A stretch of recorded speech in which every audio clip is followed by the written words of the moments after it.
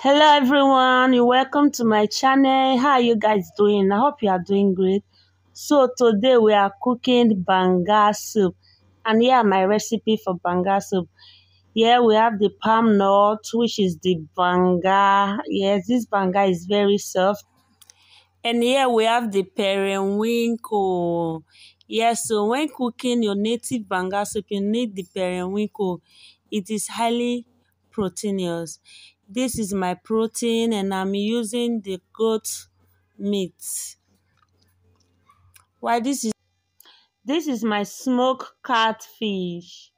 Yes, it is very delicious in banga soup. Why that is my watch bitter leaf. You can choose to use the dry one or the watch one. Ahem. Right here are my seasoning cube, my onion, my seasoning cube, my banga spice, and my grounded pepper. Yes, today I decided to use grounded pepper, not fresh pepper. You can choose to make use of any pepper of your choice. These are all you need to make your delicious banga soup. There's no need rubbing a bag before your banga soup will be delicious. Are you getting me? This is your banga after burn process. Then you have to place it on your cooker for it to get cooked for some time before adding your spices to after cooking your banga for a while so i decided to add add my goat meat. Sorry guys i did the spicing and the cooking of the goat meat off camera. Uh, please i'm sorry for that. And this is my pepper mix with onion i like using a lot of onion when cooking banga soup. It depends on what you want. This is my washed bitter leaf.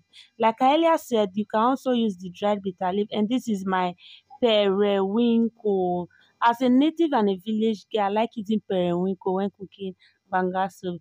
And this is my washed catfish. This, this catfish will make your soup delicious and give you that exact taste that you want in banga soup Allow the banga to boil for a few seconds before adding your seasoning cube. And seasoning cube, my salt, and my banga soup spices. I love these banga soup spices. After this, you give your soup a proper stir. Stir properly. Test to know if your salt, your maggi, and your pepper is okay. This is the last stage of your banga soup. It can be enjoyed with any swallow of your choice, eba, fufu or semo.